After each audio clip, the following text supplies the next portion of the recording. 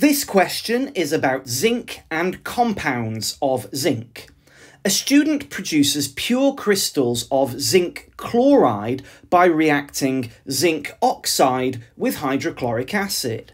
The equation for the reaction is zinc oxide, ZNO, and that's in the solid state, reacts with 2 hydrochloric acid in the aqueous state, so that means the acid will be a solution, and this turns into zinc chloride, that's our target crystals, and they are aqueous, and we also produce water, which is in the liquid state. The student adds zinc oxide to the hydrochloric acid until the zinc oxide is in excess. And excess means that there is more than we need and there will be some left over. And give one observation that the student could make to show that the zinc oxide is in excess. Well, when the student adds the solid zinc oxide to the hydrochloric acid and then stirs it, that zinc oxide solid will react, and so the solid will no longer be visible. It will be as if the solid has disappeared, but actually it will have reacted. And then they add some more, stir that, and that will react and disappear as well. And they keep going and going and going, and they will know that the zinc oxide is in excess if there is some solid remaining at the bottom of the beaker, or we might say that the solid is no longer disappearing. And so that's what we could say, either of those, for this first mark. In part B, why is excess zinc oxide used rather than excess hydrochloric acid? And this comes down to the state symbols. The zinc oxide is a solid and the hydrochloric acid is aqueous.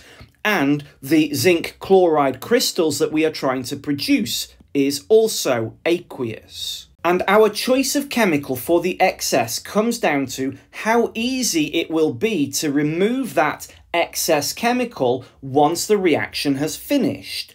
And if our excess is a solid, like zinc oxide is, it can be filtered out. And so the excess zinc oxide would be caught in the top of the filter paper as a residue, and the zinc chloride solution would collect as a filtrate in the conical flask. And that separation is going to be very easy. And so we could say that the zinc oxide can be filtered off. That would get us the mark. Or we might say that it is easier to remove or separate the zinc oxide. Or we could have the converse and say it is harder to remove the excess hydrochloric acid. As a follow-on for the same reaction, we are asked to name one other compound that the student could add to hydrochloric acid to produce zinc chloride. Well, some things that will react with acids to make salt are metals, metal oxides, metal hydroxides, and metal carbonates. So as a starting point, we've got a list of four possible chemicals. Now, we've been told that we are selecting a compound, so that rules out the metal option on this occasion, and we've been asked to name an other compound, and so we're already adding zinc oxide, so that rules out the oxides for our options. And so we could use a metal hydroxide or a metal carbonate.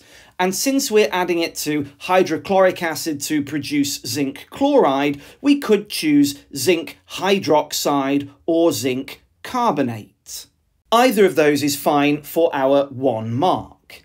And then in part D, we're told that we need to describe how the student could obtain crystals of zinc chloride from the solution of zinc chloride dissolved in water that we would have at the end of the reaction.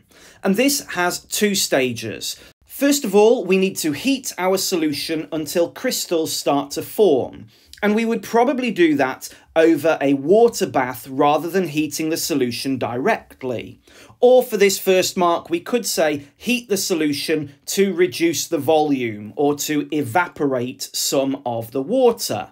Or maybe we might say heat until the crystallization point has been reached. Any of those three options is fine for this first mark. And then our second mark is for saying that we would turn off the heat, we would take our solution and we would leave it to cool or leave it to crystallize. That would get us our second marking point. Zinc chloride is produced in a displacement reaction between zinc and copper chloride solution. And the equation for the reaction is shown here. Zn, which is the zinc, is reacting with our copper chloride, and we are producing zinc chloride and copper. And we've been commanded to complete the ionic equation for this reaction. Ionic equations simplify the overall equation by getting rid of those chemicals from ionic compounds that are not changed during the reaction. And so generally there are fewer chemicals in an ionic equation. And we've got part of the equation already begun. We have the zinc atoms as reactants turning into zinc ions in the 2 plus charge. And so what's not mentioned here at all is the copper chloride and the element copper. And I suggest we start with the element copper. Since it is not an ion and not an ionic compound, the copper will be unchanged for the ionic equation. And so we can just write the symbol for copper in this space here. And then when we tackle the ionic compound, copper chloride, we can treat this in a similar way to the zinc chloride. Copper chloride is an ionic compound, and we know that chloride comes from chlorine, which is in group 7, so those chloride ions will have a 1 minus charge, and we know that there will be two of them. And the copper will be a positive ion since it is a metal and also since it's cancelling out the negative chloride ions. But since there are two negative 1 chloride ions, the copper will need to be a 2 plus ion. And that's what we need to put into this space here, copper 2 plus charge. And we can see for the ionic equation, the chloride ions are removed because they are not changing. And then we've been asked, why is zinc described as being oxidized in this reaction? Well, in terms of electrons, the acronym oil rig is quite useful because this helps us to remember that oxidation is the loss of electrons and reduction is gain. And since the zinc has gone from atoms of zinc with no charge to zinc ions with a positive charge, this means that the zinc atoms are losing two electrons. But actually, it would be okay to just say zinc loses electrons.